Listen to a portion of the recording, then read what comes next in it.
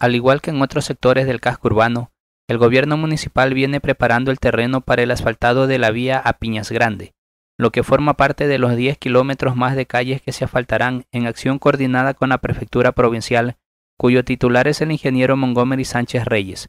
De acuerdo a la versión suministrada en el Departamento de Obras Públicas, el gobierno municipal de Piñas en estos momentos está realizando los trabajos preliminares que incluye colocación de tubos, construcción de cajas de alcantarillado, nivelación del terreno y colocación de base y subbase en la vía que une el sector corte de piedras hasta la entrada a las instalaciones de la planta de agua en Piñas Grande. El gobierno municipal realiza estos trabajos por administración directa, utilizando su maquinaria en la colocación de base y subbase, construcción de aceras y bordillos, así como otras obras infraestructurales, tal como se ha realizado en otros sectores como en Nabocana y Capiro, en coordinación con la prefectura y los gobiernos parroquiales. Ya están terminados los trabajos en la calle Sucre y Padre Ángel Tinoco Ruiz. Paralelamente se sigue mejorando las vías en el sector rural con ayuda del Consejo Provincial y la comunidad.